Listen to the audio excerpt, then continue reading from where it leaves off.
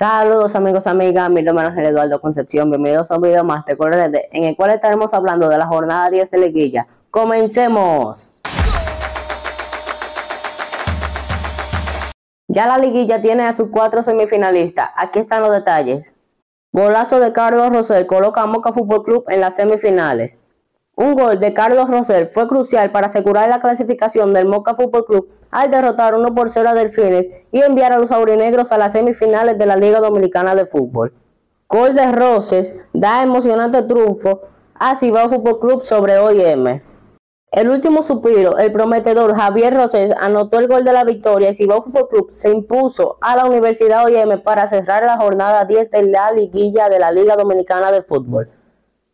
Roses, quien entró al minuto 62, se vistió de gloria cuando todo parecía indicar que el encuentro terminaría en un empate 1 a 1. Pantoja golea a Atlántico.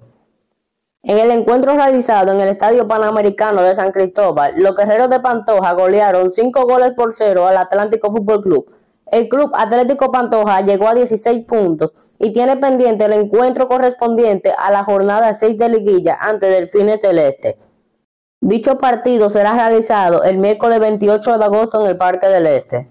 Vega Cerámicas, líder en porcelanato, lavamanos, fregadero y todo lo que necesita si está construyendo o en remodelación de tu hogar u oficina.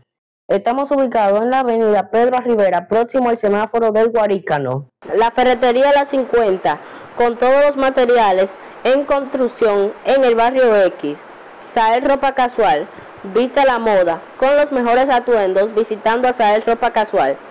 Intac es ingeniería y tasaciones. Para la construcción de tu casa, los mejores. Intac. La asesoría jurídica que necesitas, contacta al licenciado Julio Ángel Vicente al 829-342-5131. Tus derechos son nuestra prioridad. Todo resuelto, veamos la tabla de posiciones. Cibao es líder transitorio con 19 puntos.